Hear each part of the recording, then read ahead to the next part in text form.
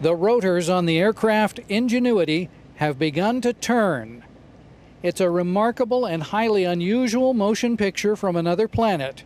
Typically, we see only still shots from Mars. The moment that our team has been waiting for is almost here. The Mars rover Perseverance, which thrilled the world with another rare set of moving pictures of its dramatic landing in February, Touchdown confirmed. has set the hitchhiking aircraft down near its landing site. On Sunday, the 4 pound, 20 inch tall experimental flyer will launch for the first time. It's a short test flight, a simulation shows, just 10 feet off the ground. Ingenuity will hover, turn, take a picture, and land. NASA hopes. We hope everything will um, go well on Sunday, but we know there'll be surprises. On Monday, NASA hopes to show the world more motion pictures taken by the rover of the aircraft in flight.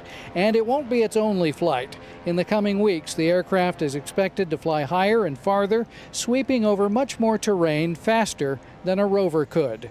And we'll all get a front row seat. The helicopter is good, it's looking healthy. We're very excited that the energy levels are where they need to be to fly. Takeoff is about 11 p.m. Eastern Time Sunday, with the first visuals available Monday. Dan Billow, WESH 2 News. As if that wasn't cool enough, wrapped around one of the aircraft wires is a swatch of fabric that was taken from the Wright Flyer itself, which was the first ever powered aircraft that first flew in 1903. You can count on WESH 2 for any updates from Mars on air, online, and right on your device with the free WESH News mobile app.